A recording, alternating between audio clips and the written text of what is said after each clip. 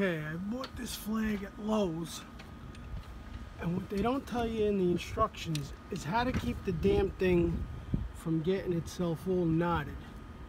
So this is a little, uh, how do you say, uh, trick I came up with. I took a washer, see this here? Rubber washer from my hose.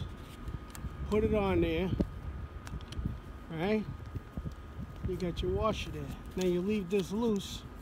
Otherwise, if you don't put the washer there, this thing will just slide up and down. Your flag will look ridiculous. So now this holds that up, which lets it swivel and spin in the wind. And that's my hack for keeping a flag nice in the wind. God bless America.